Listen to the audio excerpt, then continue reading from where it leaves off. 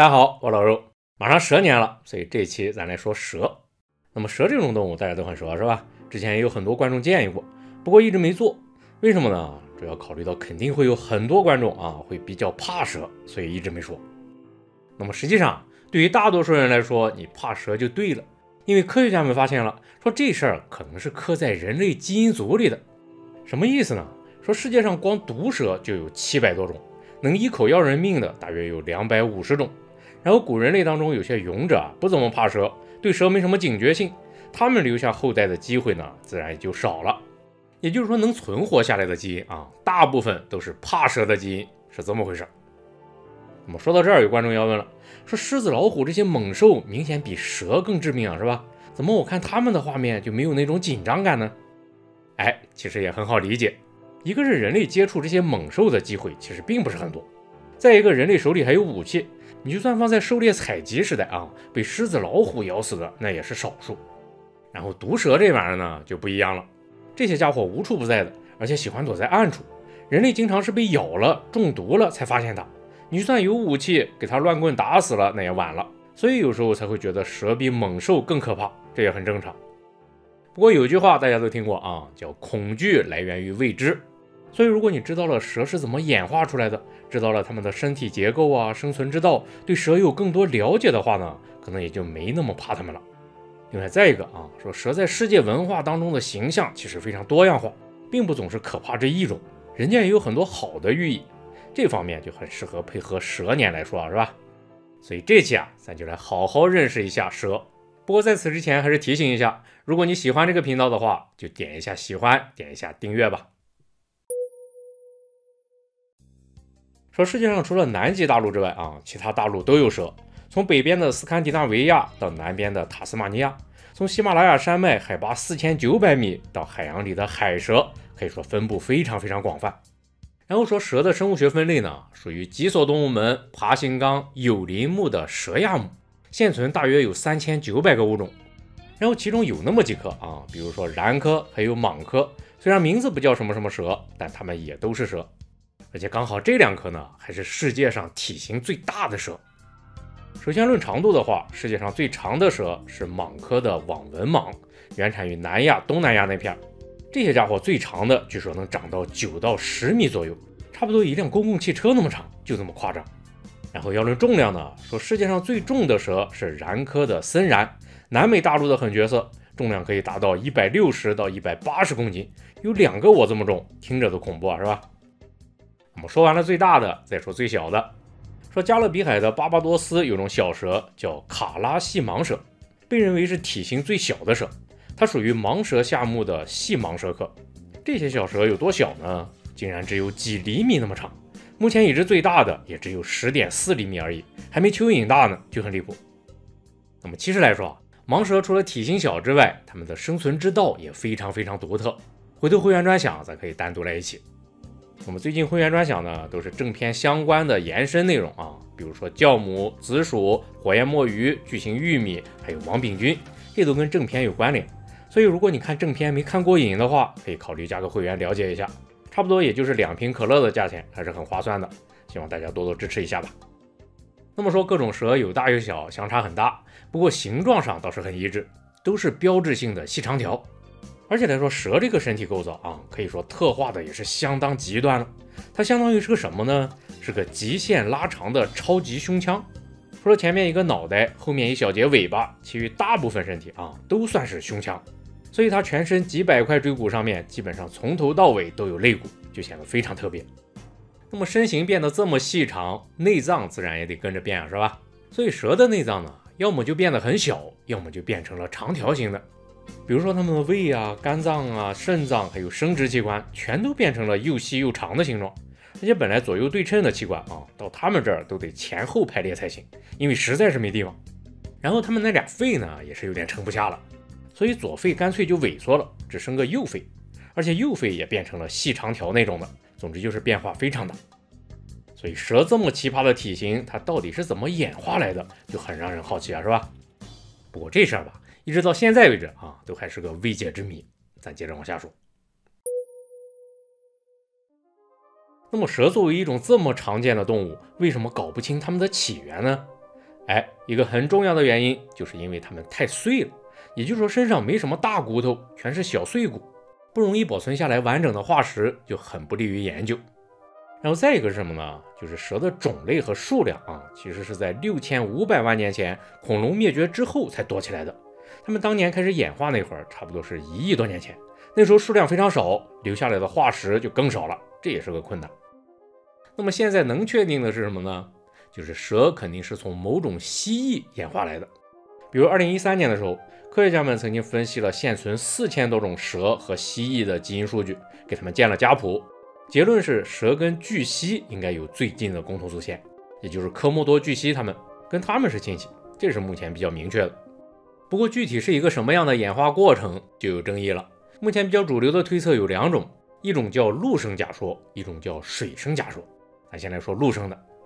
那么陆生假说最有名的化石证据啊，是在阿根廷发现的，大约是九千万年前的一具化石，考古学家给起了个名字叫纳迦，神话里巨蛇的名字。然后这纳迦最显著的特征呢，是它有两条小后腿。大家都知道啊，现存的蛇大部分都完全没有腿，也就蟒科、蚺科那些巨头们后腿还留了点小爪子，只有交配的时候有点用。那么纳迦蛇的后腿呢，明显更大、更强壮一些，好像是退化到一半的腿，而且它其他骨骼结构好多也处于蜥蜴和蛇的中间形态，所以推测它可能是最早演化的蛇。那么说，纳迦蛇的生活习性啊，被认为是穴居生活的，这样就可以解释蛇的那些变化。首先，身体变得又细又长，这个很明显，是吧？方便在地底下钻来钻去。然后眼睛上的透明眼睑呢，可以防止泥土进到眼里去。另外，蛇的耳孔也完全消失了，因为它们生活在地下啊，主要靠感受地面震动听声音，而且有耳孔还容易进土，退化掉也可以理解。所以科学家们就推测说，可能是某些蜥蜴适应了地下生活之后，逐渐演化成了蛇。这是陆生假说。好了，说完了陆生，再说水生假说。水生假说也有些有力的证据，说在约旦河西岸那边啊，发现了一种古蛇的化石，起名叫后蛇，大约也是九千万年前了，和那迦差不多，而且它也有正在退化的后腿。然后说在九千万年前，那片还是海洋，说明后蛇是一种水生蛇。尤其它的骨骼结构被认为和苍龙很像。苍龙是谁呢？他们是生活在白垩纪的一些水生的海洋蜥蜴，跟恐龙一个时代。虽然它们体型很大啊，能达到十三到十五米，但是它们并不是恐龙，而是大蜥蜴。身体是细长型的，四条小短腿变成了鳍状肢。游泳方式推测跟鳗鱼啊、海蛇它们有点像，是这么个形态。那么既然后蛇的骨骼像苍龙，那就说明蛇有可能是在水里演化出来的。而且来说，蛇那些特征，你像什么细长的体型啊、透明的眼睑，还有消失的耳孔这些啊，你也可以理解是它们适应水生生活发生的演化，也说得通。所以就有了这么一种水生假说，说蛇是从苍龙演化来的，听起来也蛮有道理。那么蛇的远古祖先到底是洞里的巨蜥，还是海里的苍龙呢？这得看今后的新研究、新证据了。有句老话大家都听过，叫“人心不足蛇吞象”，说明蛇最标志性的技能啊就是吞，它们能吞下比自己粗很多的猎物。比如说南美的森蚺就特别厉害，它们最喜欢躲在水里偷袭水豚。你想水豚体重呢，经常都是三五十公斤级别的，结果呢，森蚺也能直接往肚子里吞，看着都噎得慌。然后像是亚洲这边的也有厉害的，比如说网纹蟒，它们的常规猎物也是哺乳动物，比如小鹿这种的。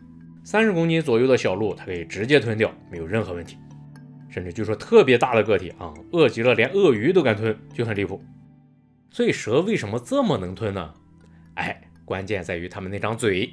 说蛇的头骨啊，构造非常特别，它们上下颌之间多出来很多小关节，连接的很松散不固定，这才可以把嘴张到一个非常恐怖的角度。其他动物一般来不了这个。所以生物学家搞分类啊，首先看的就是头骨。头骨像不像蛇才是第一位的，最有标志性的，比身体是不是细长型的、有没有腿这些更重要。然后再一个，刚才也说了，说蛇在吞大型猎物的时候看起来很噎得慌，是吧？不会憋死吗？有这么个疑惑。尤其是吞小鹿啊、水豚之类的，它们经常要花上好几个小时才能吞下去，就会给你一种感觉啊，好像它们真的要憋死了一样。所以蛇为什么不会憋死呢？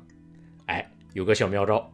原来它们吞猎物的时候啊，气管可以伸到外面来，开口露在外面，吞着猎物也不耽误喘气，就很巧妙，是吧？那么说，世界上所有的蛇啊都是肉食性的，它们吞的猎物也非常多样化。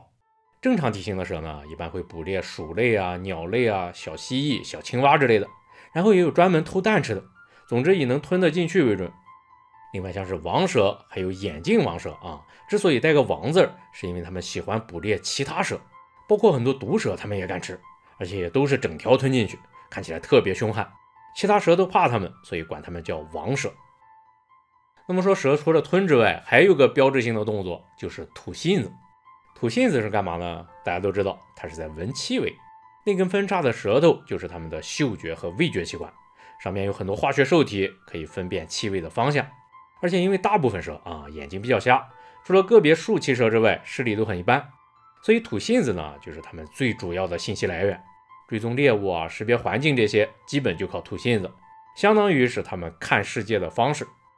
不过蛇吐信子这个动作，在人看来呢，就有点恐怖了。不知道大家怎么样啊？反正我看多了是感觉有点瘆得慌。所以接下来啊，咱来说点听起来舒服的。那么有个事儿，大家可能也留意过，就是跟医疗相关的标志上面，经常会出现蛇的形象。比如说世界卫生组织，还有一些医疗机构啊、救护车上面，好多标志上都有蛇。所以蛇这么一种自古以来就杀人无数的动物，怎么还跟医疗救治有关系呢？哎，这事儿是从古希腊神话来的。大家看那些标志啊，蛇都是绕在一根手杖上。那么这根手杖呢，是希腊神话里的医神阿斯克勒庇俄斯的手杖，所以它才可以代表医疗医学，是这么回事。不过话说回来，为什么医神的手杖上会有蛇呢？这儿有两种说法，一种跟医神的经历有关系。说阿斯克勒庇俄斯是太阳神阿波罗的儿子，经常救治穷苦百姓，而且他医术非常精湛啊，甚至起死回生都可以。不过有一天，他遇到个很难救活的病人，正在冥思苦想怎么办呢？突然从草丛里窜出来一条蛇，医生吓了一跳，一慌神就用手杖去打那条蛇，结果给蛇打死了。